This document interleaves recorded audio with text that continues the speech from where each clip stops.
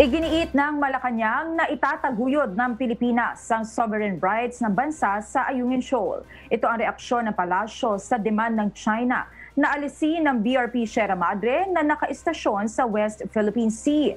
Kaugnay naman na suhestyon ni Senador Panfilo Lacson na i-refurbish o i-reinforce ang barko ayon sa Malacanang, bahagi ito na ipinatutupad na modernisasyon ng sandatahang lakas ng Pilipinas paulit-ulit namang binabalikan lagi ni ah, Pangulong Duterte no sa mga summits pati na rin sa pagsalita niya sa United Nations ah, binabalik-balikan natin lagi yung UNCLOS at yung Arbitral Award.